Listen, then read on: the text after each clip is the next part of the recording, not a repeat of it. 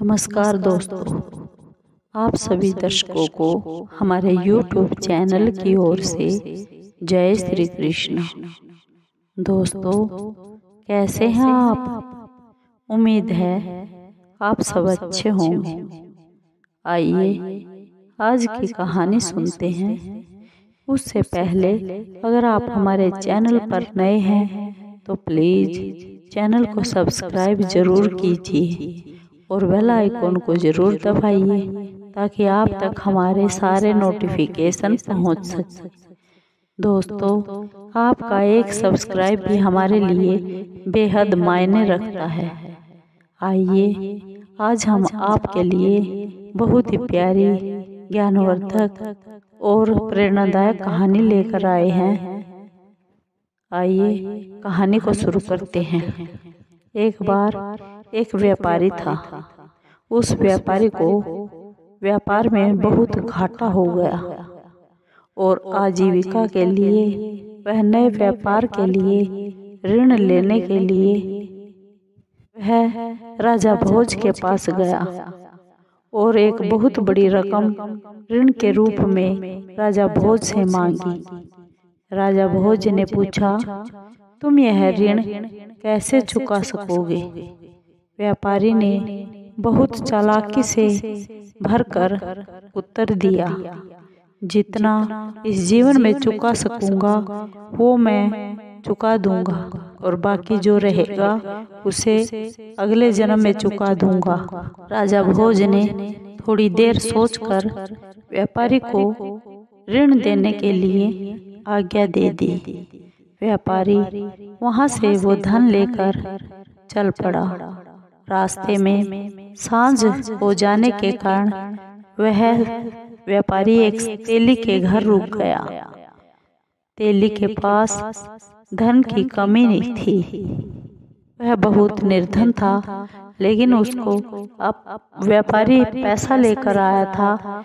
उस पैसे की रक्षा के लिए रात में नींद नहीं आई। उसे चिंता लगी थी, कहीं ये तेली उसका पैसा न चुरा ले। लेकिन उसको पशुओं की भाषा आती थी। उस तेली के घर पशु बंधे हुए थे। उन पशुओं में दो बैल भी थे। पशु भाषा को समझने के कारण उस तेली ने उन बैलों की बात सुनी। वे बैल रात को आपस में बातें कर रहे थे। उनमें से एक बैल बोल रहा था भाई भाई, इस तेली से पहले जन्म में मैंने उधार लिया था, कर्ज लिया था। वह अब लगभग खत्म हो चुका है। कल घानी में दो तीन चक्कर लगाने के बाद मेरा कर्ज उतर जाएगा और मैं इस कर्ज से मुक्त हो जाऊँगा। और मेरा कर्ज उतरते ही मेरा इस पशु योनि से पीछा छूट जाएगा।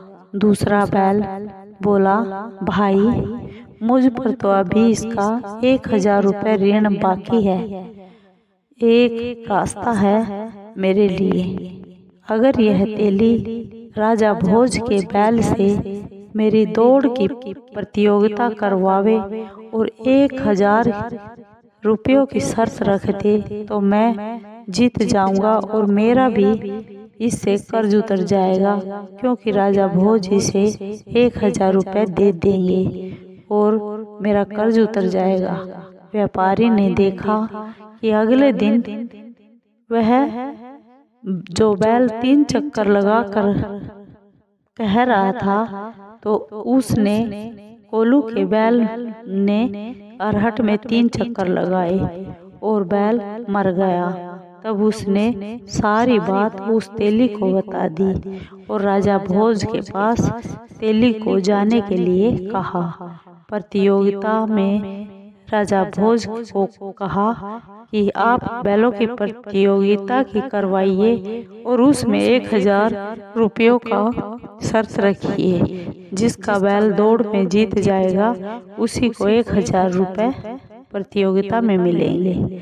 प्रतियोगिता होने पर वो तेली का बैल जीत गया और राजा भोज ने उसे एक हज़ार रुपये दे दिए। प्रतियोगिता होने पर सचमुच दूसरा बैल विजेता बन गया और एक हज़ार रुपये दिलवा कर वह भी मृत्यु को प्राप्त हो गया।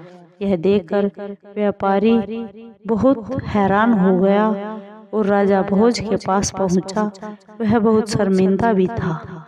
उसने उसी क्षण ऋण के रूप में जो धन राजा भोज से लिया था अभी उसी वक्त लौटा दिया कि अगर इस जन्म में ये ऋण नहीं दे सका तो अगले जन्म में राजा भोज का ऋणी होने के कारण पता नहीं कौन कौन से कष्ट भोगने पड़ेंगे। सेठ की आँख खुल गई और उसने मेहनत मजदूरी करके अपना परिवार का पालन पोषण शुरू कर दिया। दोस्तों आपको ये कहानी कैसी लगी? अगर आपको ये कहानी अच्छी लगी हो तो प्लीज़ चैनल को सब्सक्राइब कीजिए लाइक कीजिए और शेयर कीजिए कमेंट ज़रूर कीजिए। धन्यवाद दोस्तों।